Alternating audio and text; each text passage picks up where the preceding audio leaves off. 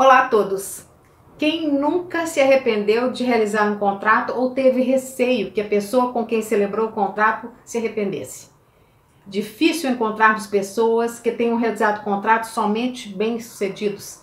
Contudo, sabemos também que ao assinar um contrato deve honrar a obrigação até o fim, pois os contratos ou acordos celebrados são feitos para serem cumpridos. É o denominado Pacto Sunt Servanda, que traduzindo do latim significa que o contrato é lei entre as partes.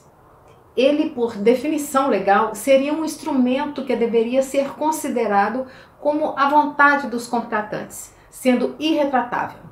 Contudo, quando envolve a compra de imóvel, seja ela ainda uma promessa ou um contrato definitivo de compra e venda, na maioria dos negócios existe a cláusula que prevê a irretratabilidade e a irrevogabilidade do contrato, para evitar que uma das partes desista do negócio por um motivo qualquer, um motivo banal.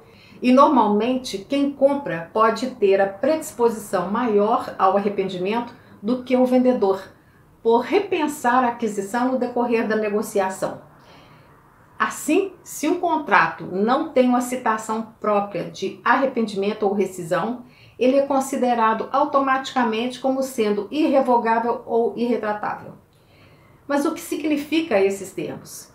Vejam, a irrevogabilidade é a qualidade do contrato não poder ser revogado, ou seja, ele não pode ser anulado em sua vigência, devendo ser cumprido pelos contratantes em todos os seus tempos. A irretratabilidade, por sua vez, é a qualidade que não permite a retratação, ou seja, o direito de arrependimento ou mudança no que foi acordado, também devendo ser cumprido em todos os seus termos, assim como na irrevogabilidade.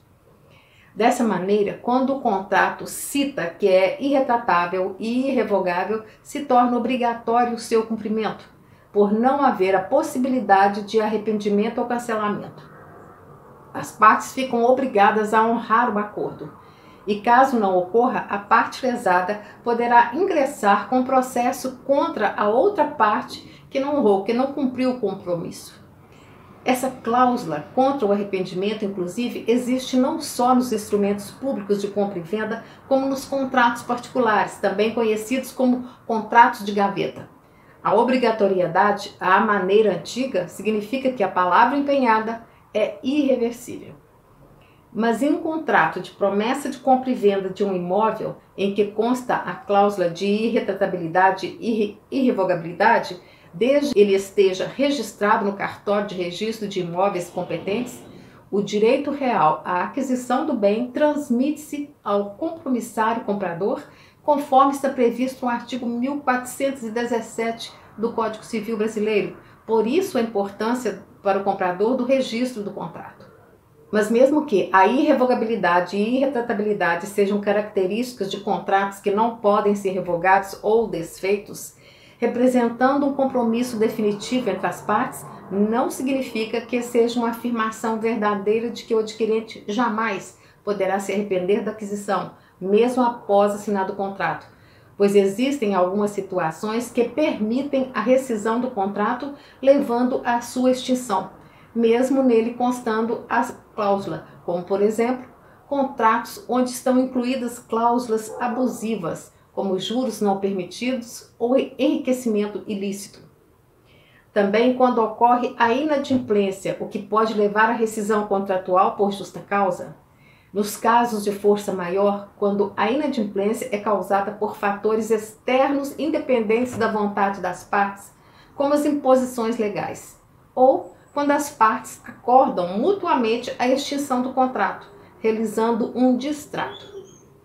No atual cenário jurídico brasileiro, as pessoas não são obrigadas a se manterem contratadas em algo que não mais lhes interessa, especialmente no que se refere ao direito do consumidor. No Código de Defesa do Consumidor, o direito ao arrependimento não só é válido, como também o prejuízo do comprador pode ser reduzido.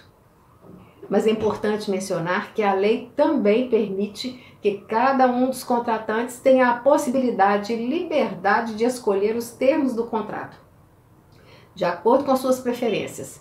Dessa maneira, uma vez assumida uma obrigação, não resta alternativa se não cumpri-la, sob pena de responder pelas consequências do descumprimento. O arrependimento posterior à assinatura de um contrato certamente terá consequências, mas o que nele deve estabelecer é, são quais são as perdas e os diferentes graus de perdas para o arrependimento posterior. Na verdade, a cláusula de irretratabilidade e irrevogabilidade adiciona ao contrato uma proteção contra arrependimento motivado ou não, seja por parte do vendedor ou do comprador, para que tenha um caráter de negócio definitivo, podendo, contudo, ocorrer o aditamento ou acréscimo por liberalidade das partes contratantes.